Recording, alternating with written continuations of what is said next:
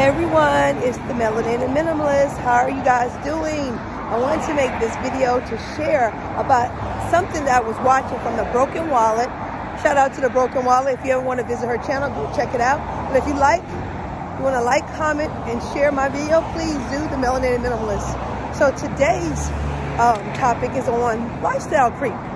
So what I'm learning, I did not know, that lifestyle creeping is when you actually go in and you have uh, maybe adjustment to your salary. You get more money, right?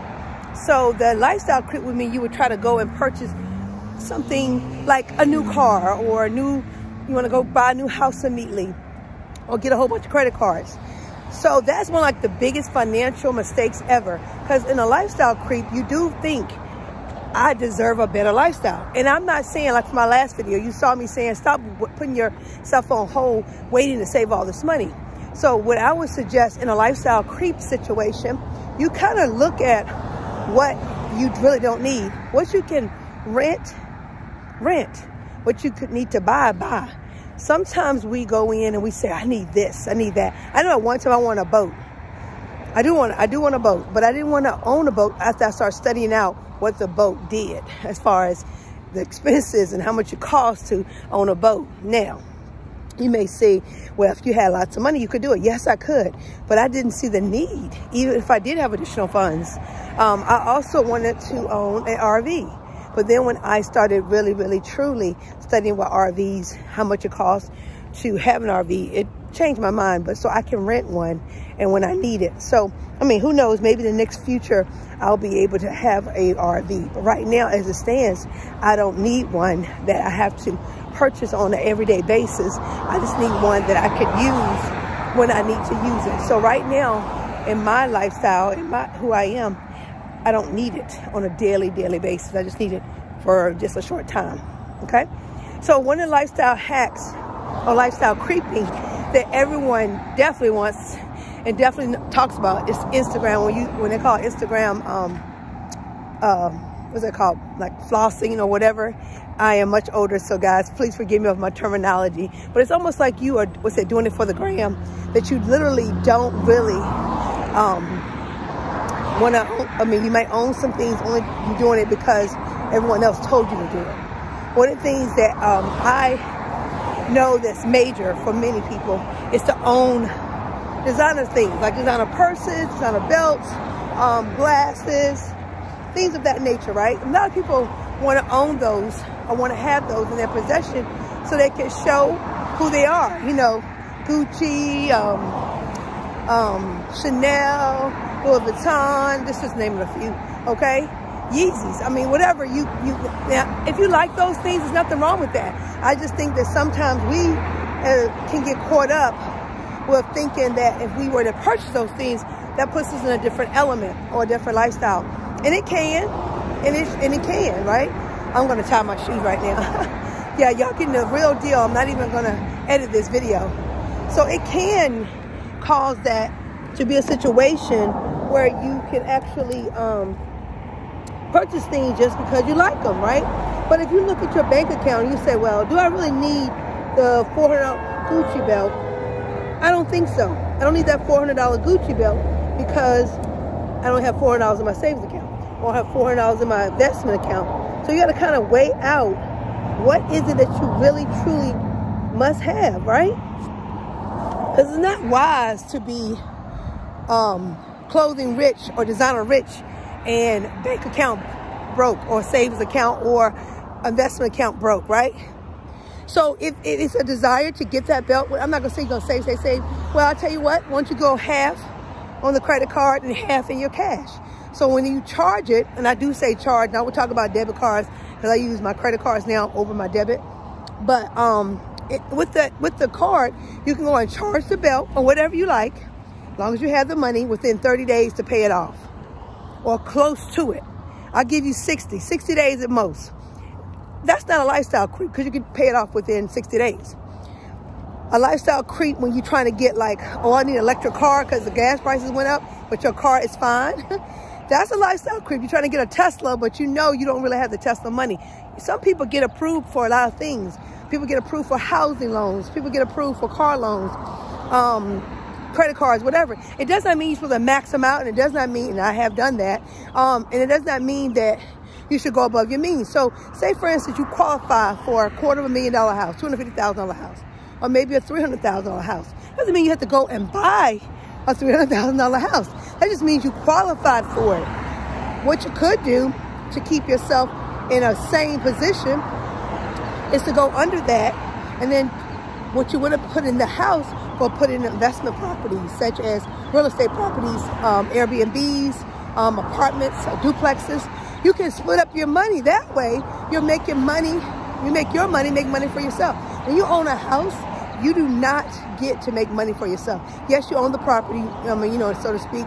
You don't have to move out when someone says your lease is over, whatever. However, some people put so much money in their homes, they don't have anything else to live live live for, meaning that, not live for, what I'm saying, a better word, you don't have nothing else. All you have is your house.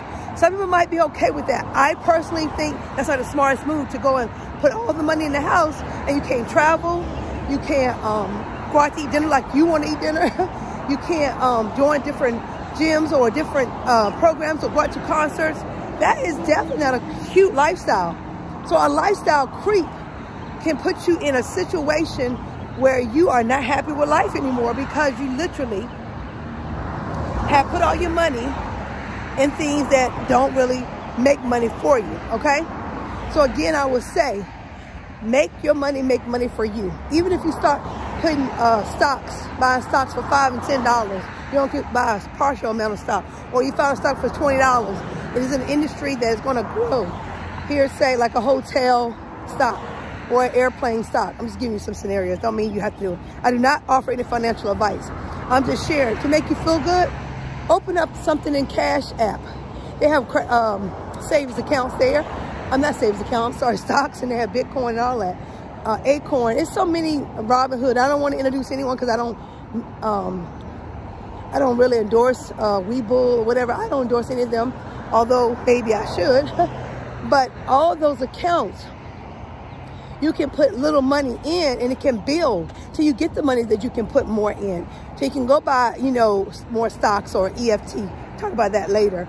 Um, index funds, things of that nature. But until then, just try to put your money where your money can grow. I have to personally open up a Roth IRA. We'll talk about that later because as you get older, if you don't have a personal um, pension plan, you may look into other avenues to put your money so you have money when you get older, right? But what this video is about is definitely about lifestyle creep. You got to make a decision how you really want to live. Now, personally, I don't have to have a Bentley like them. Those are really nice. Probably rent one. A Rose, probably rent one of those um, as well. But, you know, traveling is more important to me than anything. I'd rather go travel to a new country I'd rather go purchase an Airbnb or invest in an Airbnb to make money for me.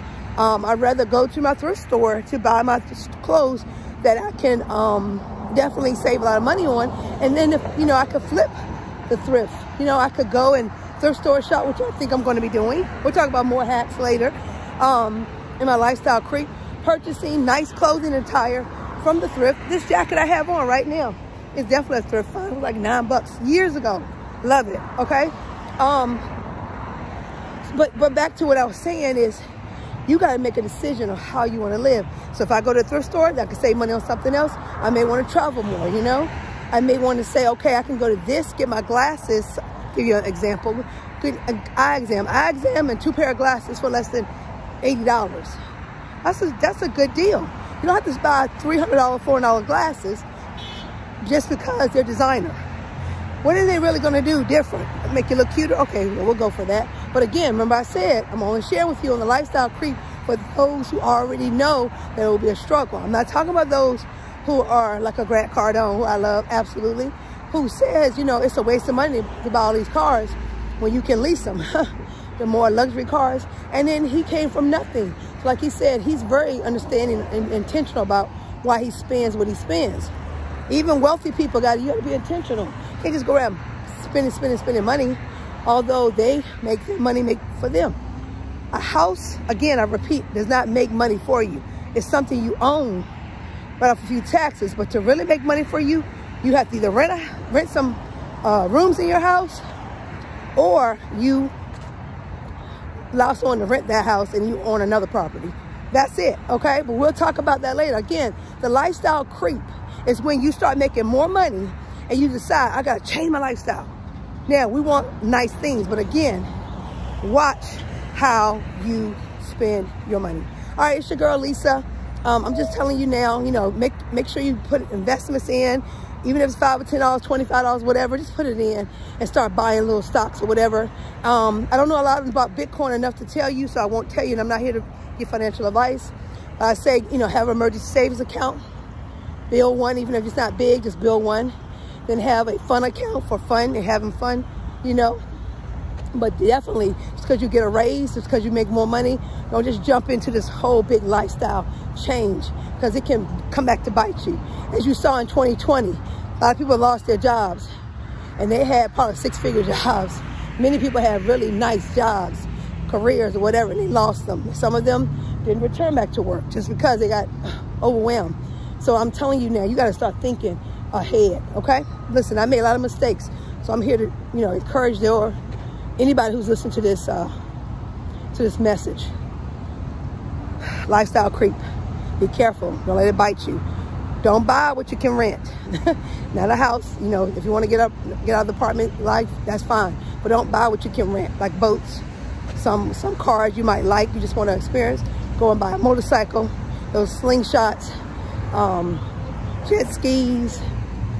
There's so many things that people buy and they don't really need it. You don't hardly ever use them. Unless you're going to rent those jet skis out to people, don't do it. Okay, remember, make your money, make money for you. Bye. Oh, like, comment, and share this video. And I thank you for giving me your time today. Take care.